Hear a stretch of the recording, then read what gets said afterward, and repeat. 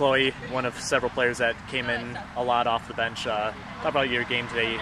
Had a big hand in two goals, scoring one of them, and then getting the goal, assisting the go-ahead goal at the end of the half. Let's take us through those two plays.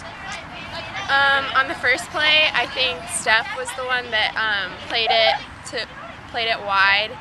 I was just able to get a touch on it, and I knew exactly where Rachel would be running in, so I played it to that spot, and she had a great finish. And then the second one, I'd have I'd already had several opp opportunities up the side, and because they went to like a different formation, so everyone just kept feeding me the ball, and finally one was able to go in.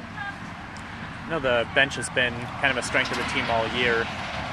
Obviously, you got a little bit more minutes here here today.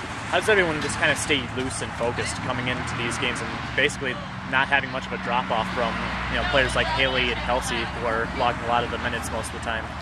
Yeah, we're really lucky to have such good team chemistry, and we all I think have a lot of faith in each other to play each other balls and be able to play with different people all around you all the time. So I think it's just a lot about having faith in each other and knowing where each other are going to be all the time. Thanks, Chloe.